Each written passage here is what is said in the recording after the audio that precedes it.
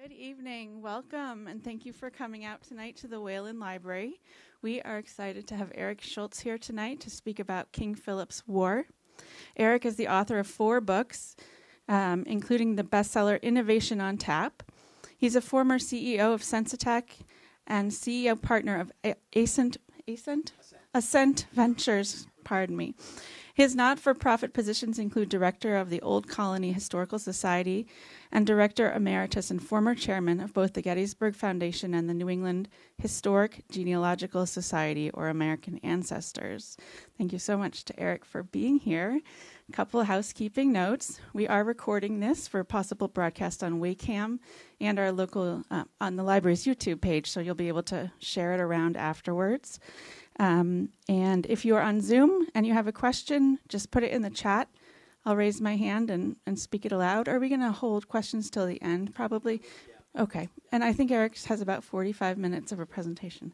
So help me welcome Eric Schultz. Thanks, Courtney, and welcome everyone, and, and uh, welcome at home.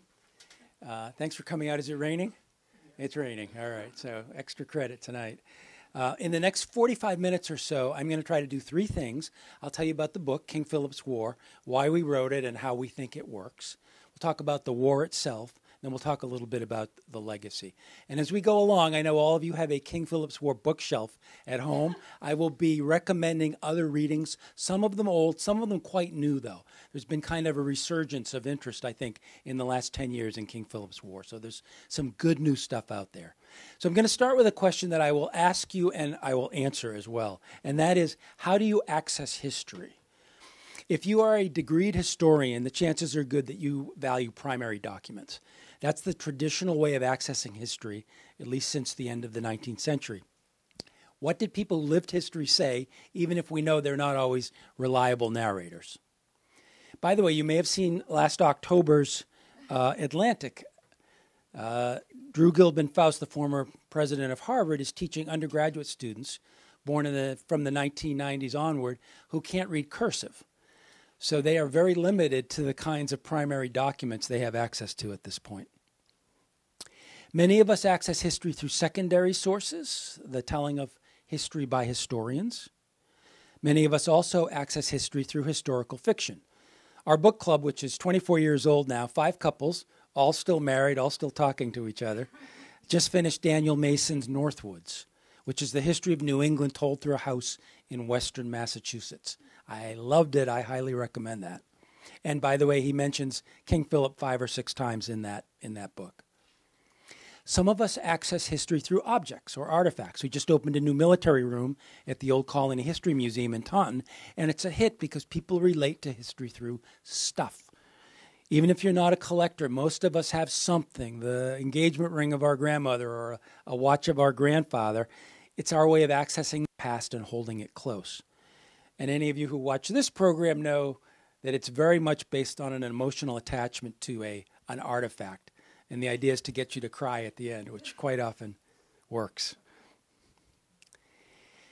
Those of you who like to dig, right, for important objects, we have an archaeologist right in front of then uh, this may be the best way to access history. If you've been to the Robbins Museum in Middleborough, you get a sense of how rich the archaeological record is in New England. And there are plenty of people who engage in genealogy. Genealogists capture family history as a way of passing on stories and traditions. And this often involves oral history, sitting down and recording a grandparent, say. And oral history becomes essential when you study something like King Philip's War, which is, uh, has a written record that's so heavily weighted in one direction.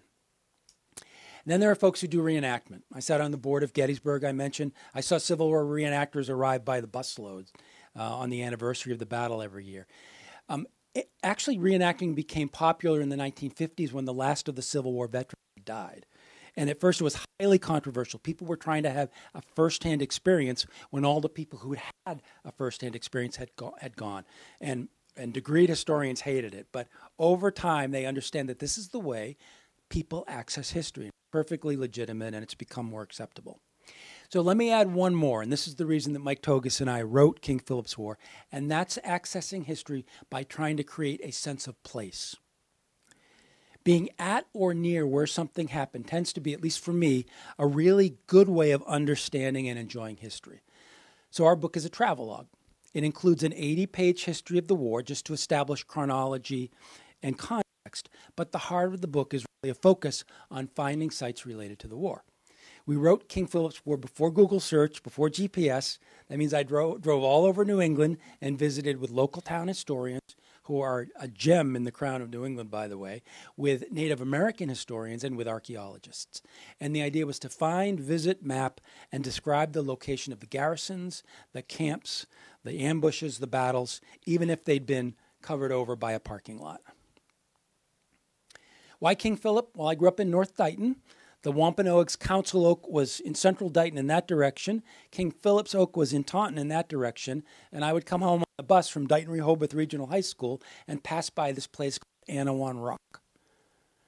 And then I got to study history at Brown. I took a material culture course with Jim Deetz, who talked all about this thing called King Philip's War.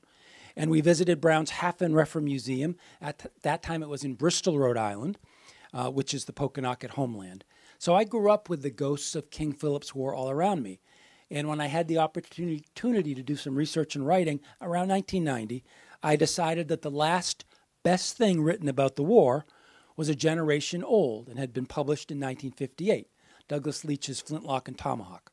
Professor Leach was not only a good historian who, who knew how to read cursive, it turns out, but he was a saint. At the time I contacted him, really out of the blue, he was a professor emeritus at Vanderbilt in his 70s and battling leukemia, which I did not know. Despite that, he took our entire manuscript, manuscript, read it, and edited it. So the language, some of the language in Flintlock and Tomahawk, you're going to find a little dated, but I still think it's the best single history of King Philip's War and a great place to start if you don't know anything about the war. All right, so let me provide some of that context for you. The Pilgrims land in 1620. The American Revolution begins in 1776 and King Philip's War was fought in southern New England in 1675 and 6, and then continued in northern New England through what was called the Treaty of Casco in 1678. The war pitted, we think, maybe 60,000 English against about 20,000 indigenous peoples. And that number varies depending on who you read, but it's probably a pretty good estimate. And they had occupied the land, of course, for thousands of years. And by the way, as long as we've got a timeline up, I should point out that next year is the 350th anniversary of the war. It's the beginning of this larger pattern of conflict that will determine whether the English or the Dutch or the French or the Native Americans will possess this part of North America. So King Philip's War will be followed by a series of wars, all of which lead up to the American Revolution. The three Native American tribes that will prosecute the war in southern New England are the Wampanoag, which include Philip's people, the Pokanoket, based around Bristol and Warren, Rhode Island, Wetammo's Pocasset in Fall River and Tiverton, and Awashonk Sakonnet in Little Compton. The Narragansett in modern day Rhode Island, the strongest of all the Native American tribes when the war begins. And then later to the north, whoops, and then the Nipmuc in central Massachusetts, and then later to the north, the Abenaki. To get to 20,000, you'd add the Pennacook, the Pequot, the Mohican, the Macomtook, the Massachusetts, and those Native Americans who made their home on the Cape and the islands. So Massachusetts won't exist until 1692, New Hampshire until 1776, and Maine until 1820. So at the time of King Philip's War, there is Plymouth Colony, what we call today the Old Colony, and that is led by Governor Josiah Winslow. Massachusetts Bay Colony, half or more of New England's population resides there. That's led by Governor John Leverett. And unlike most of the soldiers in King Philip's War who were really farmers, Leverett was a real soldier. He fought under Cromwell with distinction. And then Connecticut was led by Governor John Winthrop Jr. They called him Winthrop the Younger to differentiate him from his father, who established the settlement at Saybrook that launched that colony. And then there was this ragtag bunch of malcontents in a place called Rhode Island who will also contribute to the war effort. In 1675, the Mass Bay frontier settlements included Dunstable, Groton, Lancaster, Marlborough, Mendon, Medfield, and Wrentham. Then there were these two isolated outposts Worcester, which had about seven families, and Brookfield, which had about 20. And then there was a string of exposed settlements along the Connecticut River Valley, from Northfield and Deerfield down to Springfield. For Plymouth Colony, Bridgewater and Taunton were inland and exposed, but the real frontier towns were Dartmouth, Swansea, and Rehoboth. And then you might say all of Connecticut, all of Rhode Island, all of modern day Maine and New Hampshire, right up to Pemaquid, were all frontier. Okay, so let's look at some of the key individuals involved in the coalition of indigenous peoples that will prosecute this war. The older woman in the center of this picture is Zervia Gould. Right, she was born in 1807. She married Thomas Mitchell in 1824. They had 11 children. And here she is with two of her daughters, Melinda and Charlotte. Zervia lived much of her life on Betty's Neck in Lakeville. In 1856, she began a campaign to assert her rights to four lots of land in Fall River.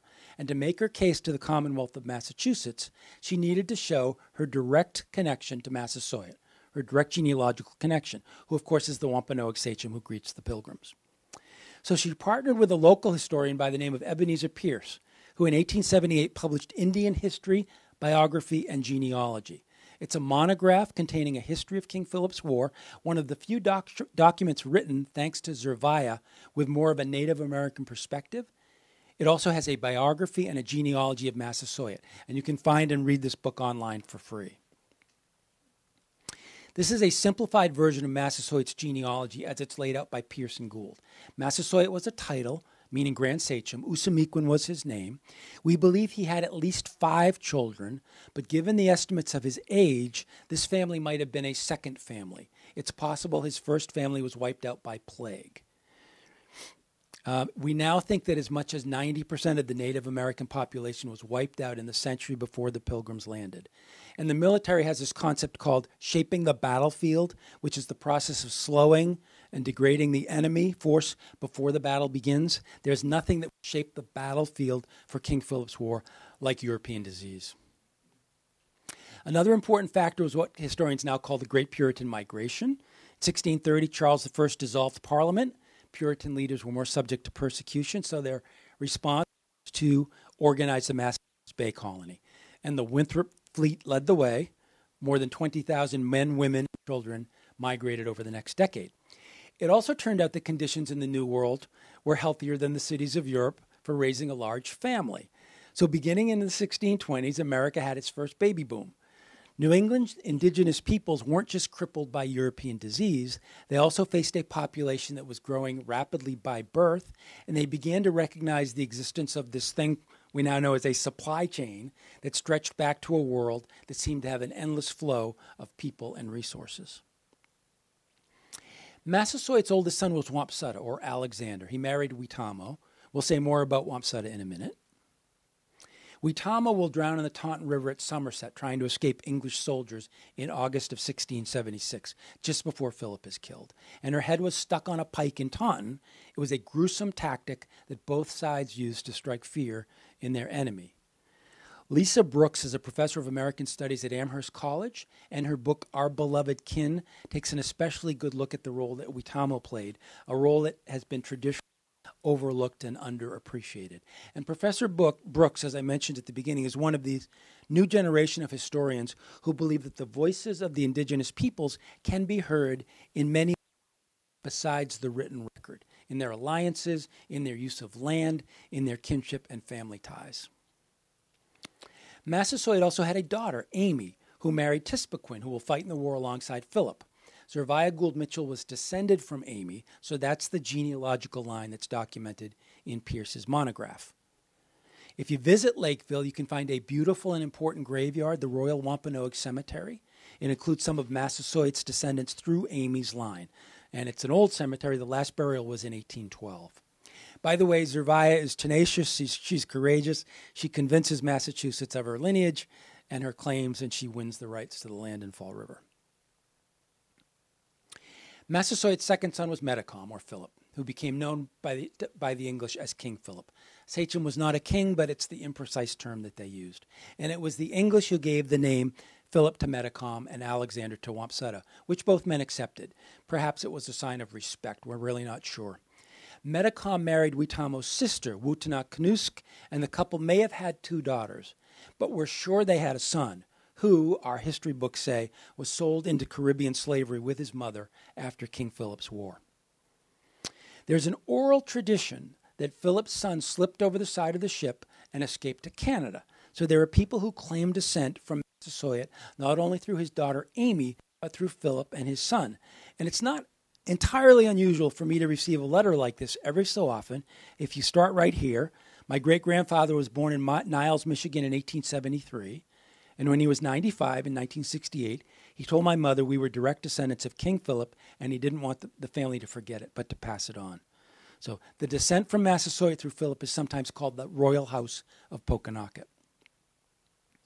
Brown University is home to a new initiative called Stolen Relations. It's a community based collaborative effort to build a database of enslaved and unfree indigenous people across all the Americas. The project has a very impressive lineup of partners, and it has a very good website if you want to learn more. In 1661, Massasoit died of natural causes after presiding over 40 years of peace with the English.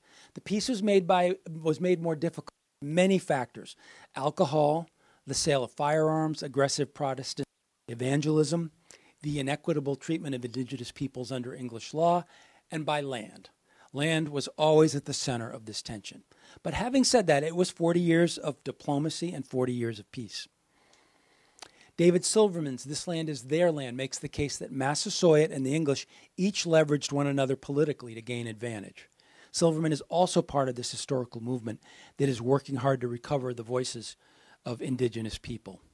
I mentioned Lisa Brooks's uh, Our Beloved Kin. I would also add Christine DeLucia's Memory Lands and Ned Blackhawk's The Rediscovery of America. They are all part of this new way of interpreting King Philip's War that I think balances the written record with other ways of hearing Native voices. I recommend you this excellent program sp- sponsored by this library and the First Parish of Wayland and the town's Historical Society. A number of scholars are on the program, including Christine DeLucia. I would also recommend this excellent interview with Lisa Brooks. Between these two videos, you'll get a really good sense of how these historians are engaging in reinterpreting the war. Okay, at Massasoit's death, his eldest son Wamsutta became Grand Sachem. The following year, in 1662, Wamsutta was forcibly taken from his hunting lodge on Monponsett Ponds in present day Halifax by Josiah Winslow, who will become the future governor. Wamsutta was marched to meet with officials charges of the unauthorized sale of land and rumors of an armed uprising with the Narragansett. The new sachem apparently acquitted himself well, but became suddenly ill and died while returning to his home in Warren, Rhode Island. We really don't know what happened. One modern doctor said that Wamsutta's symptoms resembled appendicitis. But Philip and many of the Pokanoket believed that Wamsutta had been poisoned by the English because they concluded he had become an obstacle to their acquisition of land.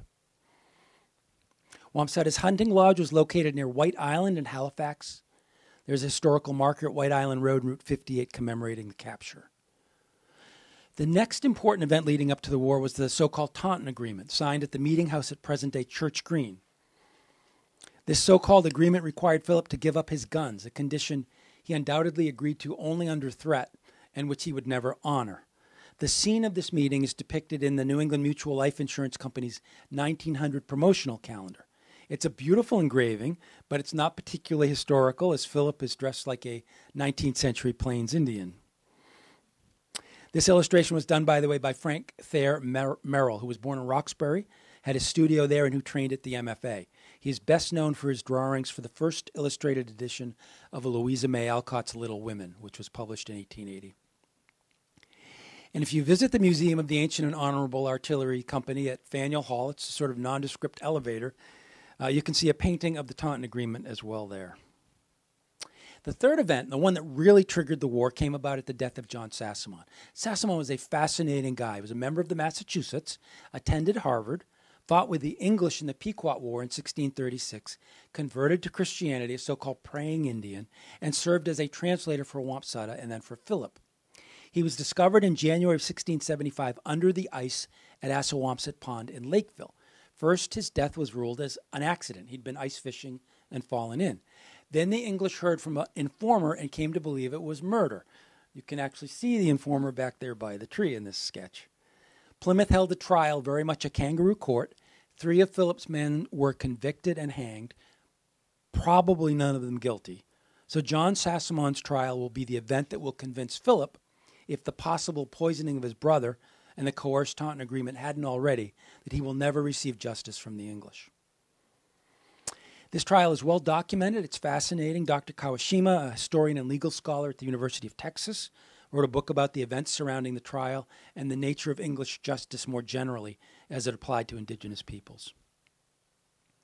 There's once upon a time a place uh, called King Philip Tavern built near the spot of the alleged murder.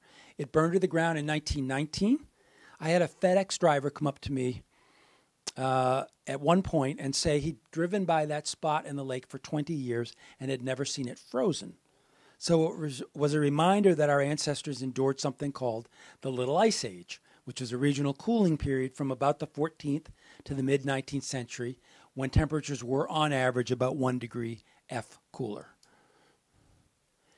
We describe about 50 sites related to the war in our book. I'll only touch on some of those sites tonight, but I would offer you this word of caution, what I'll call my Washington slept here warning. There are many sites and artifacts attributed to King Philip rocks, lots of caves, lookouts, even chairs. Just be appropriately skeptical. Here's an example. This was King Philip's oak. I mentioned that it grew on Somerset Avenue in Taunton. In 1926, the Daughters of the American Revolution placed a plaque on the tree commemorating, as, commemorating it as a spot where Philip and his people met.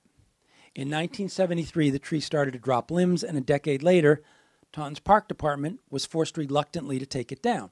People were upset. Of course, this was a direct living link to King Philip, but when they counted the rings on this beautiful old tree, they found that it had been planted about a century after Philip died. Occasionally, someone will ask me what Philip looked like. The answer is we don't know. There was no contemporaneous image made of him. There are lots and lots of images out there Philip. The one in the middle is owned by the Haffenreffer Museum, and they were kind enough to lo- allow Mike and me to use it on the cover of our first edition. Some of the images of Philip are striking. The painting in the middle was done by Thomas Hart Benton in 1922. And over time, I've developed kind of a, uh, I'll call it a back of the envelope theory of how Philip has been treated through the course of American history. First, he was demonized. Puritan minister William Hubbard, who wrote uh, an important history, refers to him as a savage miscreant. Benjamin Church calls him a doleful, great, naked, dirty beast. This kind of description of the enemy is hardly uncommon in warfare. After the American Revolution, when fighting to protect your homeland turned out to be a pretty good thing to do, he was romanticized. So in 1829, for example, John Augustus Stone wrote Metamora, or The Last of the Wampanoag, starring Edwin Forrest. In this telling of King Philip's War, Metacom is heroic and noble. The play earned record profits for theaters around the country. And then, after being demonized and romanticized, Philip was commercialized. And he wasn't alone. Once the indigenous peoples were no longer felt to be a threat, in the late 19th century, they were co opted by Madison Avenue as brands in consumer marketing. So, images of Philip were used to sell pickles, beer, and chewing gum coffee and tobacco. You can tell I spent a little too much time on eBay. Cigars, banks, Clipper ship services, and even Post and Kellogg's cereal. And as you can see on these labels, marketeers in the 20th century were doing what New England Mutual did in its 1900 calendar, relying on Geronimo or Sitting Bull or some other 19th century model for their image of a 17th century sachem. The most recent image of Metacom that I found is a mural painted in the open area beside the 133 Club in East Providence. And I could not get that Mercedes to move, so I took the picture. The most famous of Philip's images was done by Paul Revere in 1772. It's not very flattering, and historians wondered where Revere had dreamed this up. About 200 years later, Brad Swan, who was the president of the Rhode Island Historical Society, was visiting the American Antiquarian Society in Worcester and spotted this mezzotint hanging on the wall called the Four Kings of Canada. It's a display of four Mohawk chiefs done about 1710. Here are just two of them. What Revere did was what we would call today a mashup. He borrowed and mixed elements from each to create his own version of King Philip. So we don't know what Philip looked like. We also don't know that much about Philip's thinking during the war. We're not always sure where he is or what role he played.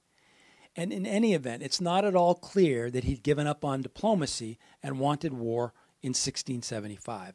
And it seems unlikely, at the very least, that he would have launched a war in the middle of the growing season. So when the war began in Swansea in June of 1675, it was possibly or probably without Philip's blessing. On June 1st, the Sassamon verdicts were delivered in Plymouth Colony. On the 8th, the first executions were carried out. On June 19th, the home of Job Winslow was vandalized by Pokanoket warriors. He was the nephew of the governor. On June 20th, the band of Pokanoket loot and set fire to several homes at Kickamuit in Swansea. And then on June 21st, Governor Winslow ordered 200 troops to assemble from Taunton and Bridgewater in that area. And then on June 23rd, I suppose you can say the war began when the Pokanoket continued their looting and one of the English, John Salisbury, shot one of the Pokanoket who would subsequently die. So on June 24th, in retaliation, Salisbury and eight others were killed and their heads placed on pikes. Very quickly, the old Miles Garrison in Swansea became the center of action. Unfortunately, the structure is now gone. This picture on the right is from 1906. Everywhere that I mention a 1906 picture, the image comes from this 1906 book by a pair of Connecticut River historians, George Ellis and John Morris. It is as readable as Leach, not quite as detailed, with a little more emphasis placed on events in the Connecticut River Valley and it has these wonderful pictures. And if you are a sense of place person like I am, it's really fun to see and read.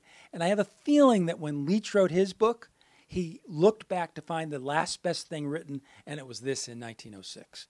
So it had been 50 years before he, he did Flintlock and uh, Tomahawk. You can visit the spot of the Miles Garrison today, of course. There's a marker near the intersection of Old Providence and Barneyville Roads. From this point on, events begin to take on a life of their own. English troops try to trap Philip on the Mount Hope Peninsula, but he's too fast, he's too smart, and the English are just too tentative at the start of the war. We now know that the Native Americans readily adopted the flintlock prior to the war and used it frequently for hunting. They acquired this t- technology from the French and the Dutch and from the English, who weren't supposed to sell guns to the natives but did anyway. Meanwhile, the English farmers turned soldiers generally possessed the older, less reliable matchlock technology. So the natives were probably more skilled with a superior European technology than the English. They knew the land better, and the fighting is going to bear that out. Patrick Malone is a professor emeritus at Brown who wrote an excellent treatise on how warfare might have unfolded in King Philip's War. Taunton was first attacked June 1675 Several townsmen are killed, but the first and most famous was Edward Bobbitt, or the Babbitt family, who was living in modern day Berkeley. At the first sign of trouble in Swansea, Bobbitt had been able to walk his wife and nine children to the safety of the garrisons closer to Taunton Green. However, the story goes, he and a dog returned to their home to get a cheese press, of all things. They were spotted by Pokanoket. Edward climbed a tree out of sight, but his dog barked and gave him away, and Bobbitt was killed. His neighbors placed a crude gravestone near the spot, which is now in the collection of the Old Colony History Museum. The stone is still prominently displayed. If you drive along Berkeley Street, there is a marker that shows the original spot of the Bobbitt stone. By the way, the original stone was used later to build a stone wall and the Babbitt family had to rescue it from that wall in the early part of the 20th century. It is a good reminder. Someone didn't want to pick up another rock and move it. So it's just a good reminder of how fragile our history is and how it can be lost to the daily requirements of living. In July of 1675, now the following month, Middleborough was attacked. The townspeople had gathered for protection at the old fort, which was near the former Memorial High School. Their leader was John Thompson, and Thompson brought along his so called long gun, which is a seven foot four inch fowling piece. It was so heavy it was designed to be placed in a fork. As the story is told, the natives would appear daily on the southeasterly side of the Nemasket River and ascend what was called Hand Rock on Barden Hill because it had the impression of a man's hand in it. And there they would be in sight of the fort, and the Indians would harass and try to discourage the English. They did this for several days. So Thompson ordered Isaac Howland, who was his best marksman, to take the long gun and just shoot in the general direction of the natives as a way to answer their insults. When Howland shot, the story goes, he hit and killed one of the natives. The distance was later measured at a half a mile. We think that a fowling gun like Thompson's could shoot maybe a 100 yards. So we put this story in the category of myth or tall tale, but the gun is real and often visited by collectors. You can see it right next to the Bobbitt stone there. Hand rock exists as well. It's a beautiful petroglyph carved on the rock. It's on private property now, so you have to ask permission to see it. If you have an interest in petroglyphs, then there are several hand carvings in Middleborough, along with Hand Rock, also on Betty's Neck in Lakeville, and in North Kingstown, Rhode Island. We're not sure exactly what they were used for property markers, decorations, art, but they are beautifully done. They're real crafts. Edward Lennox wrote an excellent article in the spring 2016 Massachusetts Archaeological Society Bulletin about this topic.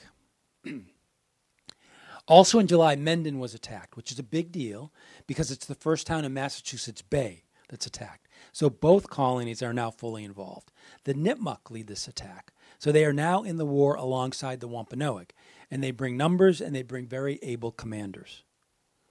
Governor Leverett was not fully convinced that the Nipmuc had joined the war on the side of the Wampanoag, so he sent a negotiating party under Captains Edward Hutchinson and Thomas Wheeler to meet with the Nipmuc in what is today New Braintree, Massachusetts. Their party was ambushed, eight were killed and five wounded. Wheeler survived and a few months later wrote a first hand account of the ambush.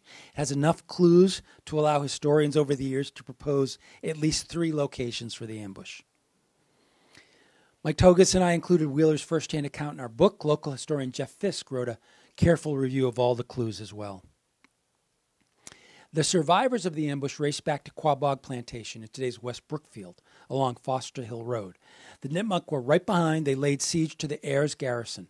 The siege was made famous by Puritan clergy historians who were looking for any angle possible at this point to tell a favorable story about the English. And that is the natives had lit a cart on fire need to push it into the uh, garrison to force the uh, the English out. And at the last minute, the rain fell and put the fire out. the sites associated with the plantation and siege are well marked along Foster Hill Road in West Brookfield, including the location of the Ayers garrison. And in the late 19th century, marketeers attempted to cash in on the romance of King Philip's War by bottling water for upscale diners in Boston and New York City hotels. By the fall of 1675, the action had moved to the exposed settlements along the Connecticut River Valley, with the Pocumtuck now joining the Wampanoag and Nipmuc. In September, Captain Richard Beers of Watertown and 36 mounted men led an ox team removing food and supplies from Squakheag Plantation, which is modern Northfield, which had been attacked and burned.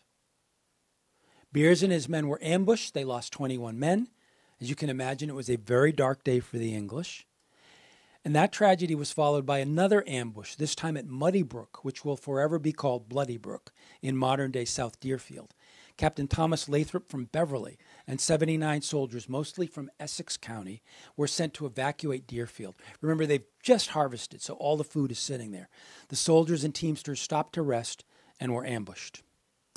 The Nipmuc under Muttawmp killed 40 soldiers and 17 teamsters. It was another devastating event for the English in terms of human loss and, of course, the loss of food. And at this point in the fall of 1675, there was a sense among the English that the Native Americans might very well push 50 years of colonial settlement back to the beaches of the Atlantic. There's a marker showing the mass grave of Lathrop's soldiers and teamsters. The site was discovered many years after the event. This commemorative part of this home is considered the oldest surviving monument to veterans in the United States. And in 1838, the site was commemorated with an inscribed memorial. Edward Everett was the keynote speaker. You may know that name. He'd been the governor of Massachusetts, and except for Daniel Webster, was considered the greatest orator of his day. To give you some sense for how important Bloody Brook and King Philip's War were in the 19th century, Everett was also the keynote speaker at the dedication of the Lexington Concord battlefields at Bunker Hill to raise money to save Mount Vernon. And then one day he would deliver 13,000 words at a place called Gettysburg just before Lincoln delivered his 272 words. The first year closed with the single bloodiest day of the war. The Great Swamp Fight occurred on a snowy day in December of 1675. A thousand man army that included all three colonies, Rhode Island, and about 150 friendly Mohegan warriors attacked a palisaded Narragansett village of men, women, and children in the Great Swamp in South Kingstown, Rhode Island. The Puritan historians believe that the fort was unfinished and the English entered it by a fallen tree at an exposed opening. It seems more obvious to me that this entrance was intentionally created by Canonchet, the Narragansett commander, to ensure that a larger and stronger force would have to attack single file. And that's what happened. The English breached the fort, but they were driven back. They breached it a second time and were driven back, and they finally entered the fort in force. Once the fighting moved within the fort, the English set it on fire. Everything was destroyed shelter, food, supplies. We think as many as 400 women and children were killed. The Narragansett, who had not entered the war, considered this attack unprovoked and a massacre of innocents. This depiction of the Great Swamp Fight on the right ha- also hangs in Faneuil Hall in the Museum of the Ancient and Honorable Artillery Society. The site of the Great Swamp Fight is marked today by an obelisk, and there is a long standing debate about whether we have actually found the correct location of the battle. There have been artifacts found at this site. There was a sketch done by Yale President Ezra Stiles when he visited the site in 1782. But when archaeologists dug test pits, which they did in the late 50s and early 1960s, the pits did not contain the kind and amount of rich remains you would expect to find in a palisaded village of maybe a thousand people. There are archaeologists and there are Narragansett who say they know the correct spot, but they won't reveal it because they consider it sacred. When I researched the book, this is years ago, so this is not a drone. I'm up in a plane and wasn't happy about it, but I took these pictures. You can see a change in the foliage, which indicates a change in the species of the trees, which in this case indicates about five acres of upland or drier, sandier soil surrounded by swamp. There are at least a dozen areas of upland in the swamp, and it stands to reason that the Narragansett Fort would have been built on one of them, assuming the water table hasn't changed dramatically. A few years ago, my wife and I were able to purchase artifacts found at the traditional location of the Great Swamp Fight by descendants of the Clark family that owned and farmed the area around the obelisk. In the early part of the 20th century, I understand you could get off a train in Kingston, walk over to the farm, pay a quarter, they would give you a shovel, and you could dig all day to your heart's content. And we donated these artifacts to the New England Historic Genealogical Society. In February of 1676, Lancaster was attacked, and the minister's wife, Mary Rowlandson, was captured. And Mary would travel with the natives for 11 weeks. During that time, she met Philip, she met Wetammo, and she would be among the first to understand that despite a series of impressive military the Native Americans were growing desperate and hungry, often winning on the battlefield, but losing the war of attrition.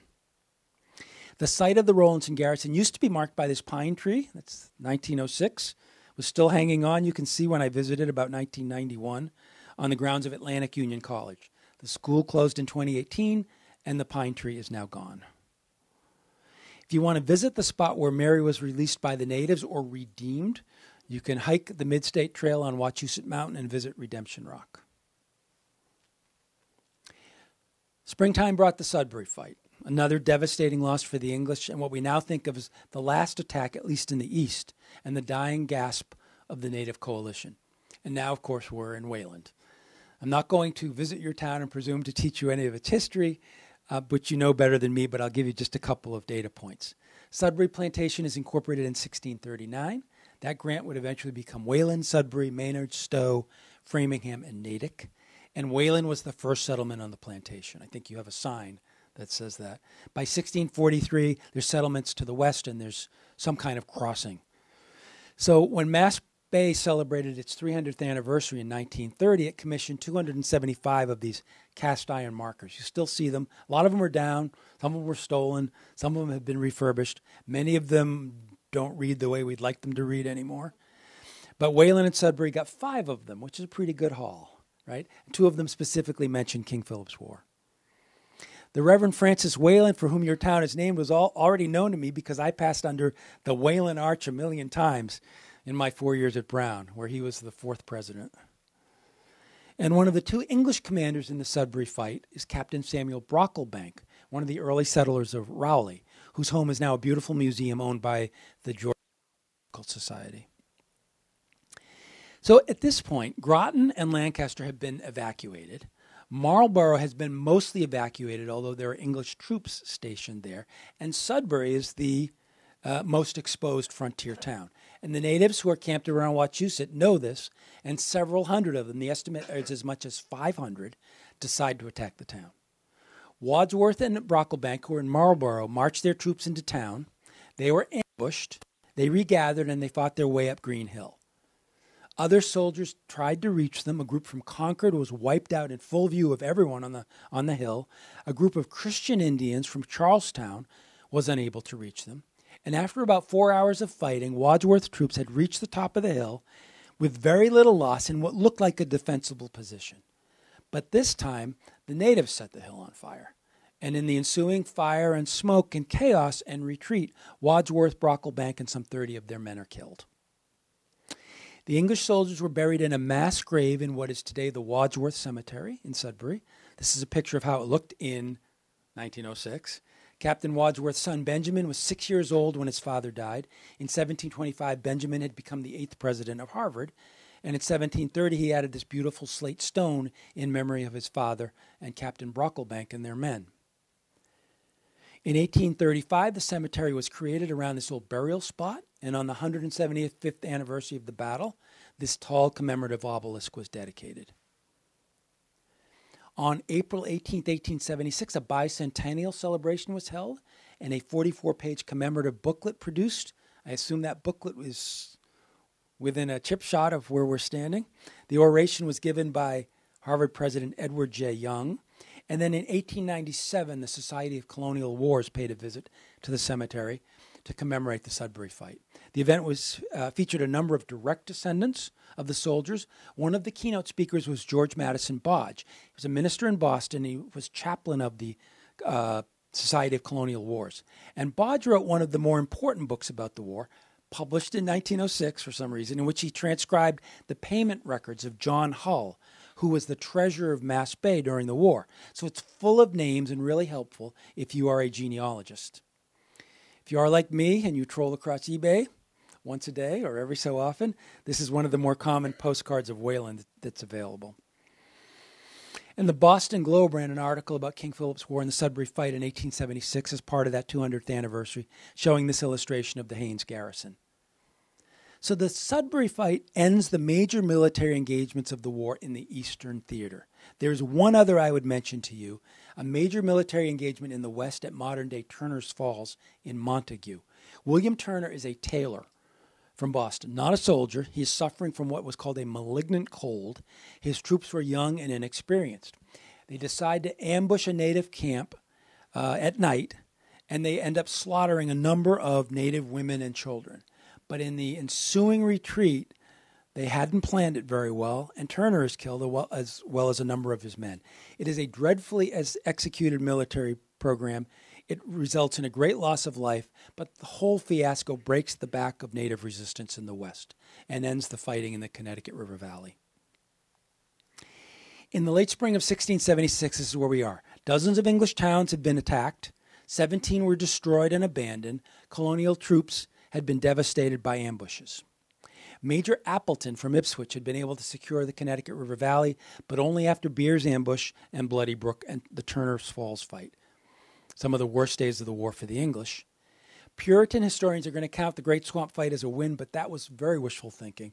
The English suffered 70 dead, 150 wounded, and this unprovoked attack brought the Narragansett, who had been neutral so far, into the war.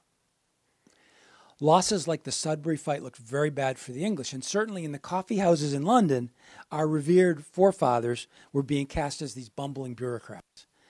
And in truth, the natives were losing the underlying war. Harvest had been impossible in 1675. Planting was impossible in 1676. They had been forced from their traditional fishing grounds, and there was hunger everywhere among the natives. They had talented blacksmiths, they could repair guns, but they were running out of gunpowder, and they had no way to make that. The natives were also running out of warriors.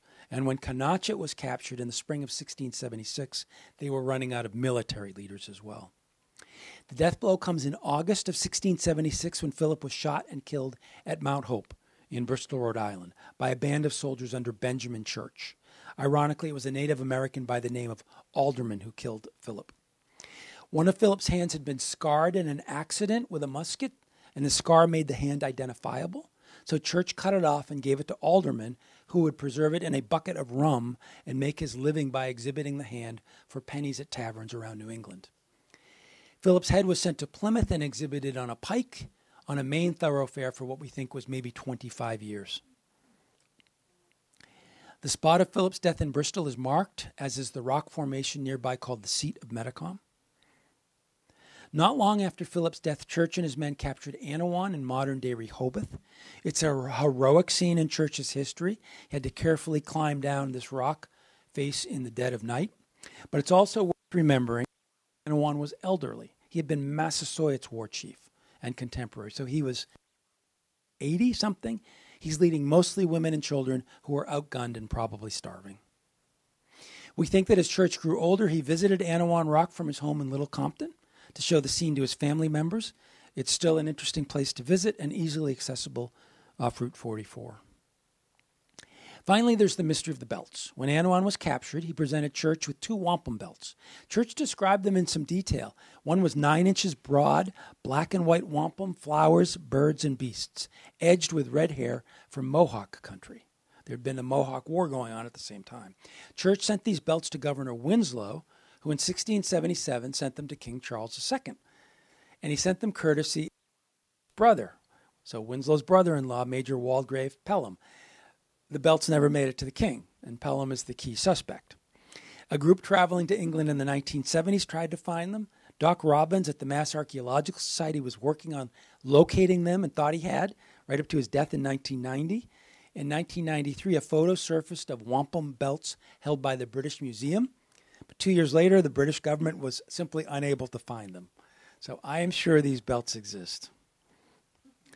There was a beautiful belt created a few years ago in homage to the missing belts, part of an exhibit at the Cahoon Museum of American Art in Cotuit. Losses from King Philip's War on both sides were stag- uh, from both, on both sides were staggering. The English experienced 800 deaths, or about 1,500 deaths per 100,000 people, while the natives experienced death at 10 times that rate. King Philip's War is sometimes referred to as the bloodiest war per capita in American history, as important, these combined losses ended forever a way of life of two peoples living peacefully side by side for 50 years in New England. Some Native Americans fled to New York and Canada. Those that took up arms against the English were generally executed. Many indigenous people were sold into slavery in Bermuda and the West Indies. It was a way the English had of ensuring that there would never be another uprising and a way of paying for the war. It was also important to know that there were survivors who remained in New England. There is unbroken history here, contrary to what are sometimes called erasure narratives that were common after the war. Bottom line is this King Philip's War will become a template for the forceful removal of indigenous peoples from the land. King Charles II and the British administrators were appalled that New England bureaucrats could not keep the native population in check and almost lost King Philip's War. So, shortly after the war, the Crown began tightening governance around a part of the world it had almost ignored for 50 years. Among other actions, it forced the Treaty of Casco in 1678 to end the war and lumped Mass Bay and Plymouth together in something called the Province of Massachusetts. From the colonists' perspective, they had just fought a war with zero support from the, from the mother country and won. Pretty happy about governing themselves for 50 years. Things were going okay as far as they were concerned. So they will resist this tightening for the next century. And you can see the seeds of the American Revolution being planted in the wake of King Philip's War. And finally, there's the shoddy treatment of veterans, another legacy of King Philip's War. As Mass Bay and Plymouth uh, colony soldiers were mustering on Dedham Plain, which is now the Hyde Park neighborhood in Boston, before the Great Swamp Fight, Governor Leverett sent a message that said if they took the fort, they would also be paid a gratuity of land along with their wages. That was December of 1675. Well, they did take the fort, and unfortunately, it would take Massachusetts 59 years until 1734 before veterans and their heirs received the land promised in 1675. And I say heirs because many of the veterans, of course, had died by 1734. There were seven Narragansett townships established, towns that were first settled by the veterans of, the Great Swamp Fight or their children. Genealogically speaking, this information can be of great value. If your ancestors are from this area, land grant number two may be most relevant. The grant that became Westminster, Mass, at the foot of Mount Wachusett. This was closest to Boston and considered the best of all the grants. You might note that grant number four, Greenwich, Mass, was flooded by the Quabbin Reservoir and no longer exists. And you can see from Bodge's meticulous lists of Hull's lists here are the names of the soldiers or their heirs from Sudbury who received grants. The nice thing about this list too is this: if the veteran was dead and the oldest son had died, the daughter gets the land. So there are a number of women mentioned in these lists as well. of course, in this day and age, if you want to know the significance and legacy of King Philip's War, you simply ask Chat GPT, and it will spit out the answer in eight seconds. Eight seconds. It's not a bad answer. I subscribe to it because I guess you'd say uh, I can't help being a dinosaur, but I don't want to become a fossil yet. And let's be a little more traditional, though, and do a quick review of your possible expanded reading list. Along the top, we mentioned Bodge, Pearson Gould's monograph, which is online, Leach, Ellison Morse, and Kawashima's look at the trial of John Sassamon. If you are new to the war, I would start with Leach. And then along the bottom, we also talked about some of the important historians looking to recover the voices of indigenous peoples, which is another way of saying turn them from names into real people who had hopes and dreams and kids and wanted a future like just like the rest of us. If you're interested in texts written by participants or, or observers of the war, these four are the ones where we that we sourced most actively to create a sense of place. Increase Mather's history, he was Cotton's father.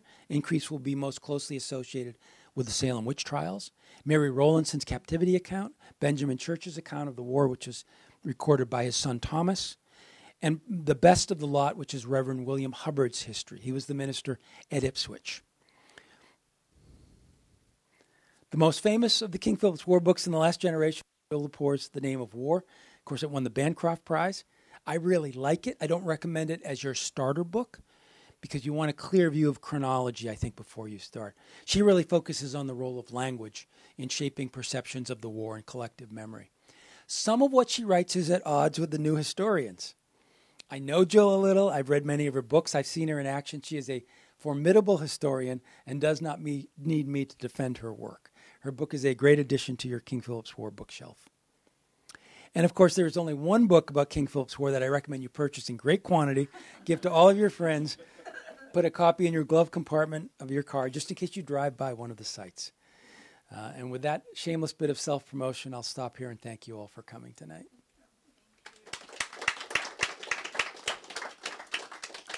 I'm happy to take questions or comments or.